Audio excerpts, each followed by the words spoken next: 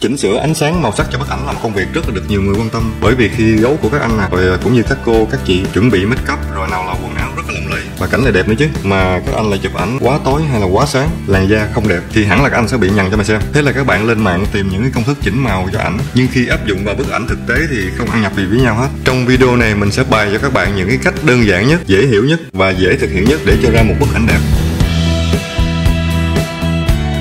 Tiên là giúp cho các bạn hiểu về cách thức hoạt động của các công cụ chỉnh màu. Vì khi bạn đã hiểu rồi thì bạn sẽ dễ dàng chỉnh sửa bất kỳ bức ảnh nào mà không cần đến các công thức có sẵn.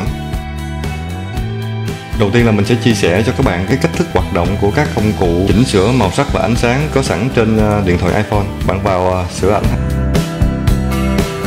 Công cụ đầu tiên là phơi sáng. Khi mà bạn kéo về phía bên tay phải á, là bạn tăng lên á thì nó sẽ tác động đến ánh sáng của bức ảnh. Khi mà bạn kéo về phía bên tay trái bạn giảm đi thì nó sẽ làm cho bức ảnh nó bị tối. Tiếp theo là độ chói. Độ chói có nghĩa là bạn thấy những cái vùng nào có nhiều điểm sáng giống như là bóng đèn nè trên áo nè trên da mặt trên gò má. Bạn cộng lên thì nó tăng độ chói lên. Nhưng mà nó chỉ tác động đến những cái vùng mà bắt sáng thôi. Ngược lại bạn giảm đi. Thì bạn thấy như cái áo trắng sẽ bị tối đi. Tiếp theo là công cụ ờ, bùng vùng sáng. Công cụ này nó tương đương giống như là công cụ đổ chói vậy đó. Thì nó sẽ tác động lên những cái vùng nào mà đang sáng của bức ảnh Ví dụ như là bức tường nè, áo nè, trán, gò má Kéo về phía bên tay phải. Như bạn thấy rõ rệt nhất là cái áo của cô người mẫu là sáng lên Da mặt cũng sáng lên. Còn bạn trừ đi thì những cái vùng sáng nó sẽ bị tối lại. Công cụ tiếp theo rất là quan trọng là vùng tối. Vùng tối là cái vùng nào nó bị tối như bạn thấy là tóc nè Bên trong bức tường. Bạn đẩy về phía bên tay phải bạn thấy nguyên cái à, bức tường màu đen bên dưới nó sẽ tác động rất là mạnh. Và bạn để ý tóc của cô người mẫu. Vùng tối nó sẽ giảm đi còn ngược lại. Khi bạn kéo về phía bên tay trái thì vùng tối nó tăng lên. Tăng vùng tối lên như bạn thấy nè bạn thấy cái vùng này nè sẽ tăng lên rất là mạnh mẽ luôn. Rồi tóc không còn chi tiết nữa bạn thấy không? Thành một khối màu đen.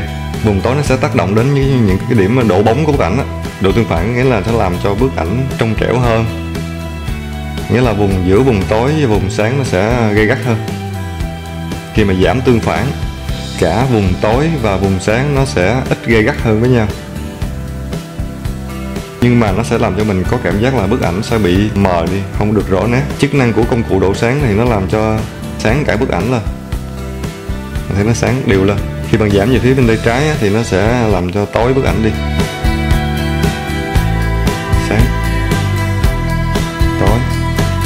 Điểm đen thì nó sẽ tác động lên cái vùng đen.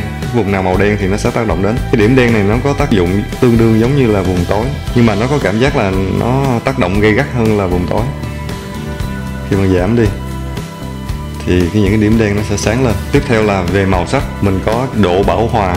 Độ bảo hòa nghĩa là khi bạn trượt về bên tay phải tất cả những cái màu sắc có trong bức ảnh nó sẽ được tăng lên. Ngược lại, khi mà bạn giảm cái độ bảo hòa màu xuống kéo bên phía tay trái thì nó sẽ mất màu đi hết giống như hình trắng đen vậy bạn thấy không? Độ tươi của bức ảnh thì gần giống như là độ bảo hòa cũng làm tăng màu lên. Tươi tắn hơn rực rỡ hơn. Và nó không có gây gắt giống như độ bảo hòa. Ngược lại khi bạn giảm á, thì nó cũng sẽ mất màu đi. Tiếp theo mình đến một cái công cụ cực kỳ quan trọng trong quá trình à, chỉnh màu cho bức ảnh đó là độ ấm. Khi bạn tăng độ ấm lên thì bức ảnh nó sẽ ngã sang màu vàng màu cam còn ngược lại, giảm đi sẽ mang tông màu lạnh làm cho bức ảnh bị xanh thôi. Đây, công cụ này cực kỳ quan trọng. Nó sẽ quyết định được cái à, màu sắc của bức ảnh. Đây là công cụ này bạn nhớ để ý ha. Công cụ tông màu này, nó sẽ cho mình à, ngã về hồng. Khi bạn tăng lên thì nó sẽ cho mình ngã về hồng. Thấy không? Hồng. Trừ đi thì nó sẽ ngã qua xanh lá. Thì trong cái bảng công cụ này, bạn à, chú ý những cái công cụ rất là quan trọng sau đây nè. Vùng tối, độ sáng, điểm đen, độ ấm tông màu đi vào cụ thể thì mình sẽ có nhiều ví dụ cho nhiều tình huống khác nhau để mà bạn có thể à, thực hành. Đầu tiên là một cái tình huống mà mọi người hay mắc phải đó là trong không gian trong nhà, ví dụ như là nhà hàng, quán cà phê, thì nó sẽ làm cho bức ảnh bị ám cái màu vàng.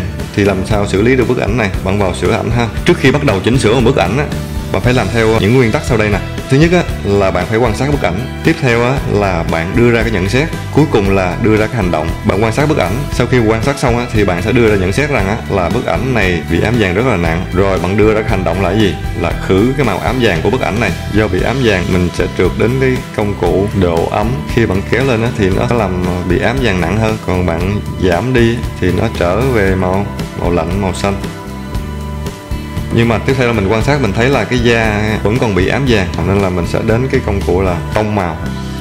Mình sẽ trượt về phía bên tay phải để cho nó, để nó tăng màu hồng cho da một chút. Rồi một tí xíu thôi bạn. Tiếp theo là mình đến cái công cụ độ sáng, mình sẽ làm cho bức ảnh nó sáng lên. Đây là hình góc ban đầu. Đây là hình mình đã chỉnh sửa.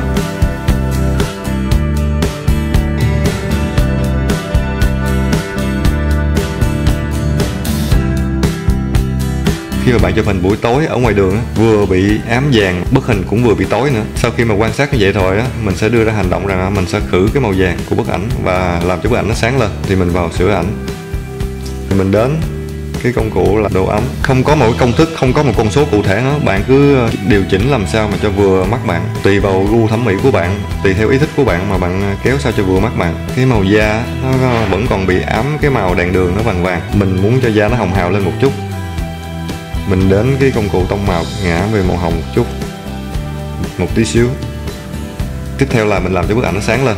Mình đến công cụ độ sáng. Mình tăng sáng lên.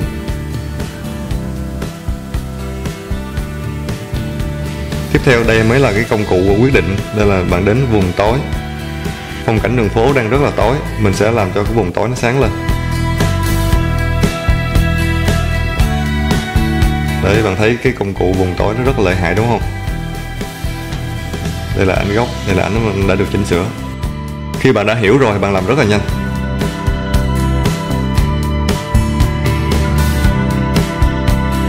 Tiếp theo là mình đi đến tình huống khó hơn mà rất là nhiều người mắc phải khi chụp ảnh. Đó là chụp ảnh ngược sáng nó bị tối đây, mình ví dụ, đây là bức ảnh này. Ngược sáng có nghĩa là phía sau người mẫu là cái vùng sáng. Lúc đó cái camera, cái điện thoại nó hiểu, ngoài trời đang quá sáng nên là cần lập tối lại. Mình đã quan sát vậy mình sẽ cần làm là cho người mẫu sáng lên. Nhưng mà cái hậu cảnh không được quá chói sáng, không được bị mất chi tiết. Tình huống khó các bạn ha. Vậy mình vào sửa ảnh.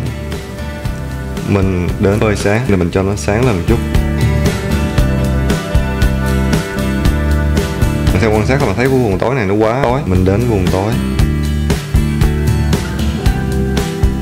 Mình giảm vùng tối lại cho nó sáng lên.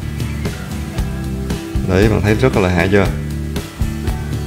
Ảnh góc, chỉnh sửa. Nhưng bạn thấy đó, chỉ cần hai bước là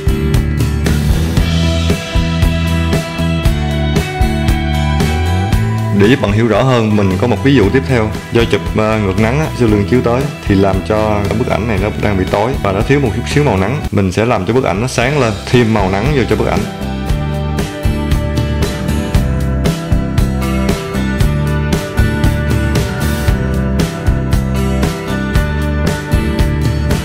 Rất là nhanh chỉ cần ba bước thôi đúng không bạn ha?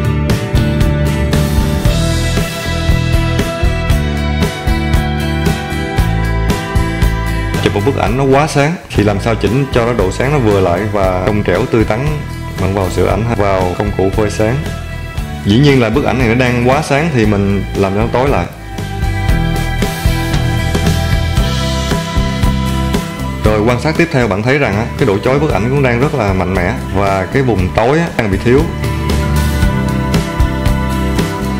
Vùng da rồi áo nó sẽ bớt chói đi. Mình đến à, vùng tối.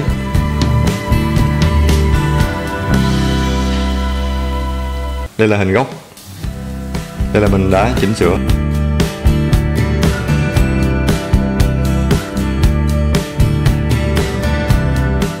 Tình huống tiếp theo là khi chụp một bức ảnh nó bị quá tối thì phải làm sao? Khi bạn chụp ở trong môi trường bị thiếu sáng thì nó sẽ bị tối giống như vậy. Thì mình làm, mình chỉnh cách nào cho nó tươi sáng lên? Mình vào sửa ảnh, vào công cụ phơi sáng, tăng sáng lên đến đây bạn quan sát thấy rằng á, là cái độ tương phản rất là gay gắt. Bây giờ mình sẽ cho cái vùng tối này nó sáng lên đến vùng tối.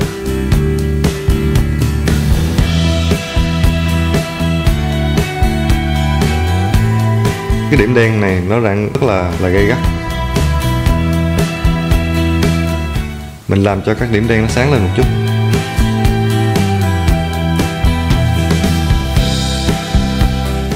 Đây là hình góc nè đây là hình ở chỉnh sửa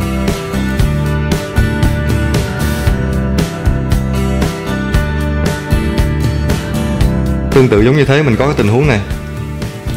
Một bức ảnh này được chụp thiếu sáng, bị tối nè. Màu sắc nó cũng không được đẹp. Nhiệm vụ của mình là làm cho bức ảnh nó sáng lên và màu sắc cũng rực rỡ lên. Mình tăng sáng lên.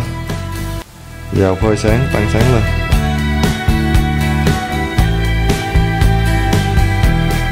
Tiếp theo là mình đến vùng tối.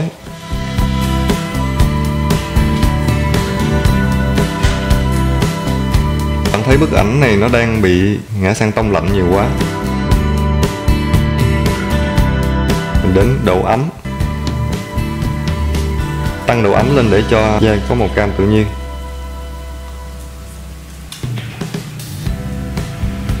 Tiếp theo là mình à, cho màu nó tươi lên một chút. Vào độ tươi tăng lên. Vào độ bẩu hòa màu nè, tăng màu lên. Bạn quan sát nhé. Hình gốc và hình chỉnh sửa. Có nghĩa là bạn quan sát, bạn thấy nó thiếu cái gì, bạn nó đang bị cái gì, thì bạn vô trong cái công cụ này. Bạn điều chỉnh theo cái mà bạn quan sát thấy. Ví dụ như nó bị thiếu sáng thì bạn tăng sáng, nó thiếu màu thì bạn tăng màu.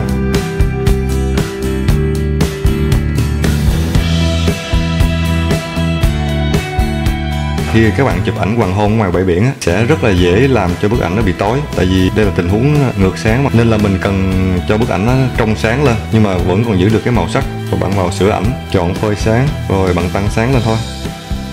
Bạn tăng vừa phải thôi. Nếu bạn tăng lố quá thì cái vùng mà bầu trời này, nó sẽ chói sáng.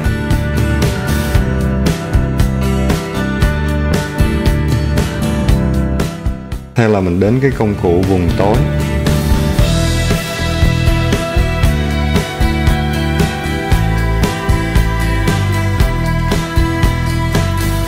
Đen vẫn đang rất là gay gắt, nên là bạn sẽ vào điểm đen. Bạn giảm màu đen đi. Giảm. tiếp theo là bạn đến độ sáng, bạn cho nó sáng lên một chút xíu nữa.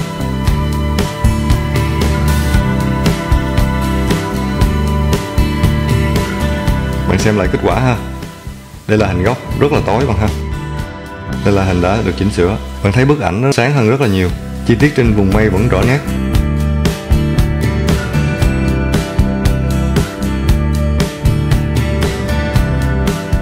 Sẽ bày cho các bạn thêm một cái tông màu cũng đang rất là hot đó là tông màu à, phim cổ điển. Một cái tông màu à, khá phổ biến cho tất cả các thể loại ảnh. Tông màu phim cổ điển đó là một cái tông màu hơi đậm tối ít màu sắc và nó hơi ngã về vàng cam một chút. Sau khi mà bạn nắm được cái điểm mấu chốt đó rồi á bạn vào à, sửa ảnh. Bạn quan sát thấy được rằng á, bức ảnh này đang rất là sáng nên là mình sẽ vào cái công cụ phơi sáng này mình giảm lại.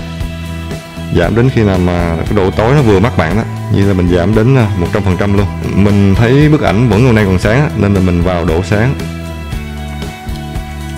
Mình giảm tiếp một chút.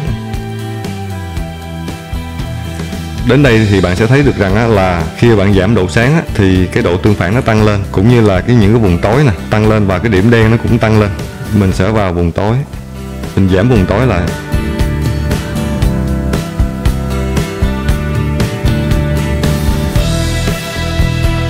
Tiếp theo là mình vào điểm đen. Mình giảm điểm đen lại. Mục tiêu của giảm điểm đen là để cho hậu cảnh nó sáng lên, cũng như là nó nó sẽ à, bớt đi cái độ tương phản. Bước tiếp theo là mình sẽ xử lý về màu sắc. Mình vào độ bảo hòa nè. Giảm màu sắc xuống.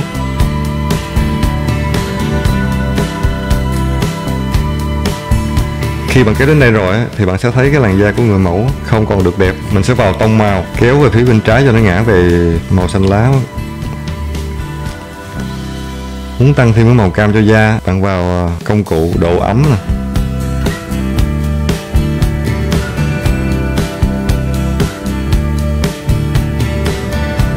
Đến bước này rồi mình đã thấy bức ảnh tương đối ổn, nên là mình bấm vào xong để lưu lại. Bạn quan sát và so sánh ha. Đây là bức ảnh đã được mình chỉnh sửa theo cái tông màu ờ, phim cổ điển. Còn đây là bức ảnh gốc.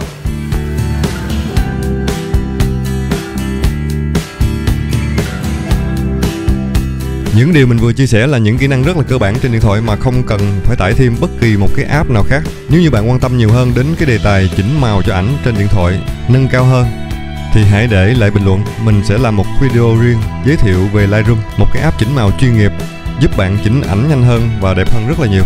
Video đến đây là hết. Xin chào và hẹn gặp lại các bạn trong các video tiếp theo nhé.